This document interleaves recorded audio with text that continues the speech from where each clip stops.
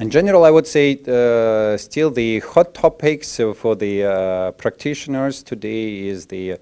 uh, high aesthetics, uh, ceramics, CAD CAM, and uh, maybe nowadays it is more trend towards the prevention and the ortho, not only the implantology, uh, like in the past years. This is a very good platform for